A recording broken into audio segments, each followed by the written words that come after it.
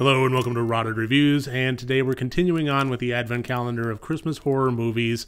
And today I'd like to talk about the 2015 movie Follow. Now, I didn't start this video with my normal gravelly voice, and though I typically try to have a sense of fun and uh, jovial atmosphere within my channel, I do want to have a bit of a somber tone for this one. And the reason for that is this particular movie, and subsequently this review, does tackle the topic of suicide. And there are many things in life that I will show levity for, but this is not one of them. Instead, what I'd like to do is before I get into this movie review, just reach out and say if you are experiencing any suicidal thoughts, if you are having any difficulties whatsoever, please reach out. There is help available. The number for the United States National Suicide Hotline is 1 800 273 8255. I will go ahead and put that at the bottom of this video. And in the comment section, I will also provide links for international audiences please, please reach out.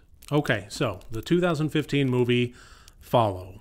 Written and directed by Owen Egerton, who you might recognize is the writer director of Bloodfest.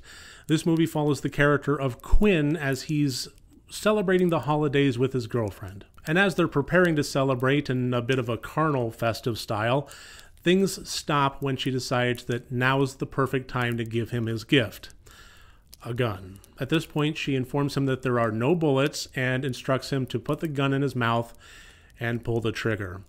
Huh? Whoa, no, no, no, no. Oh, no. wow. Hey, hey, honey, don't do that. Come on. okay, let me just check No. the thing, you know. It's not loaded. Okay, let me just check No, the thing. that's cheating.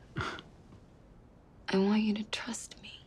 After some hemming and hawing and going back and forth with some dialogue, we immediately cut to Quinn waking up. And things clearly haven't gone to plan because his girlfriend is the one lying on the floor in a puddle of blood. What follows from there is Quinn reacting to the situation and trying to put the pieces together of what actually went down that night. Meanwhile, people seem to keep dropping by and odd situations start occurring, like the body moving itself. And that's pretty much all I'll describe on a plotline level. The movie just kind of takes it from there with unraveling the mystery of what's actually going on and uh, generally having the situation escalate. So I got to be absolutely honest, I have been struggling with what to say about Follow ever since I watched it last night. I think the best way I can really put it is I liked it. I wanted to like it more than I actually did, though. I've said quite often on this channel that one of the core elements of a good horror movie is a good mystery. We start out with so many things hidden in the shadows who's doing things, why, so on and so forth. Uh, in the case of paranormal or hauntings and so forth, it la- largely winds up with the what as we're trying to figure out what happened that is now leading to what's going on with the hauntings or whatever. And this movie was a good example of a very intriguing mystery. He wakes up, things clearly didn't go to plan, whatever that plan may have been. It certainly wasn't intended to be like this with her lying on the floor. So, what happened?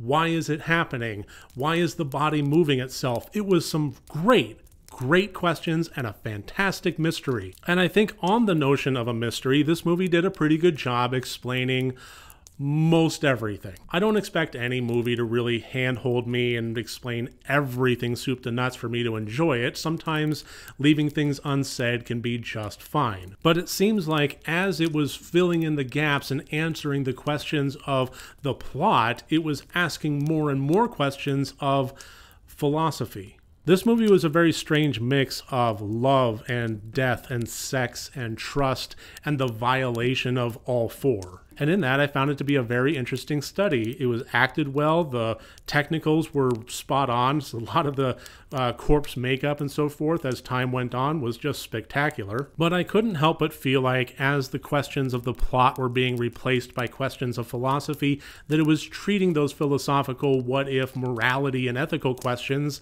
with just a little bit too much of a flippant attitude. As we were getting answers to what happened to Quinn and his girlfriend in that little blip of time, the answers that was trying to kind of presuppose for the philosophical questions about what makes a relationship work, how do we integrate potentially uh, violence and sex, things like that, I wasn't really sure what the movie was really trying to say. And it was such a deep and dark topic to kind of leave open on the floor like that with characters that are just kind of reacting to situations as they're continuing to escalate that I almost felt like it wasn't entirely irresponsible, but it wasn't entirely responsible either. Overall, as the movie progressed and I saw where it was going with things, I was kind of hoping for a little bit more of a character insight, that it would start addressing those philosophical questions with a little bit less of an open ended nature and start making some points to it that got me thinking. Start not necessarily answering the questions that it was asking, but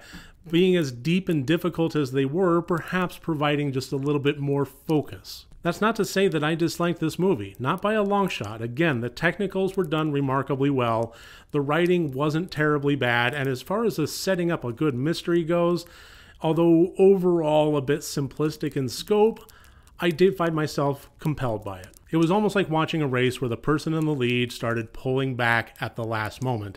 I liked it, but I wanted to like it a lot more than I did. So there you go. That's my review of the 2015 movie Follow. Thank you so much for joining me here today.